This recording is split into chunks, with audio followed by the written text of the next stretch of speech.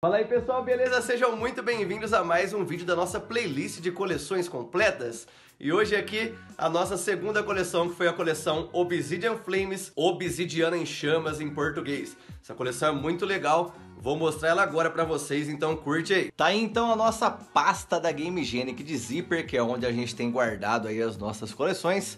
Vamos abrir ela aqui com vocês e começar a mostrar. Vou fazer aquele mesmo esquema, tá? Vou mostrando aqui em folha dupla quando for alguma folha mais importante com cartas mais importantes, eu dou uma aproximada aí para vocês.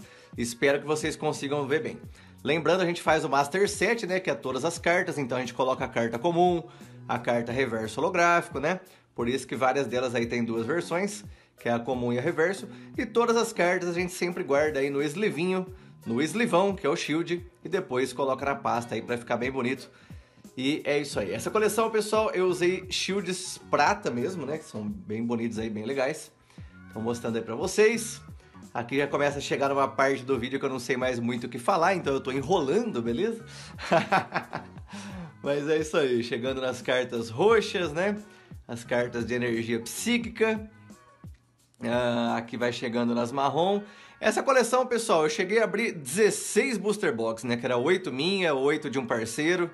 Ele me ajudou bastante com as cartas reverso holográfico, embora mesmo com as 16 BB ainda faltou carta reverso holográfico, né? Faltou regular, então nunca é fácil, né? Mas como a gente abriu muita coisa, eu peguei também muita coisa já com ele ali do que eu tinha aberto a, as booster box para ele. Então essa foi uma coleção que eu, que eu fiquei mais perto de fechar, né? Então essa teoricamente foi a mais fácil, mas não foi tão fácil assim porque a última carta dourada, que é aquela energia é, psíquica, eu acho, né? Não, de fogo, de fogo. Energia de fogo dourada foi muito difícil encontrar ela perfeita, né?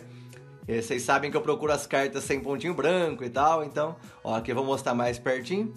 São as artes alternadas, full art, né? Mas é isso aí, pessoal. Aqui vai ser a principal página, né? Tem aquele Charizardão monstro que tiramos dois dele, né?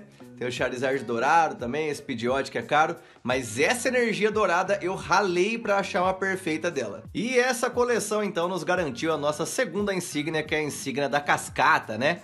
Eu poderia ter pegado a do vulcão, que faria mais sentido aí com o fogo, mas resolvi ser, seguir a ordem do desenho, então... Nossa segunda insígnia, segunda coleção completa, ganhamos aí a insígnia de água na coleção Obsidiana em Chamas.